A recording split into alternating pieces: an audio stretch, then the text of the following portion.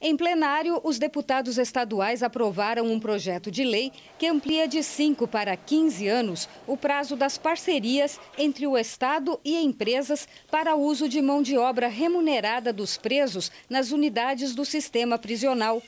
A ampliação do prazo poderá ocorrer desde que no ato da renovação a empresa interessada apresente certidão de débito negativo.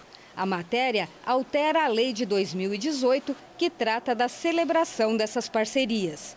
O autor da lei e da nova proposta é o deputado Nilson Berlanda. Na justificativa do projeto, ele explica que a intenção é tornar essas parcerias mais atrativas e vantajosas para as empresas.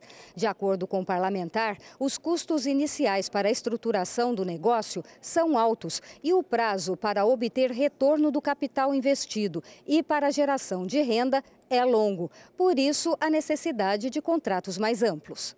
De início, o projeto previa a ampliação das parcerias entre Estado e empresas interessadas para 10 anos. Uma emenda do então suplente PP Colasso ampliou para 15 anos.